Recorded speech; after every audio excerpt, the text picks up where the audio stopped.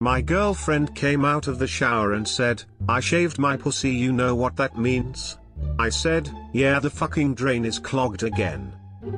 Ah, but when you shave, it's even worse. Chest hair, ball hair, bum hair. You can't talk.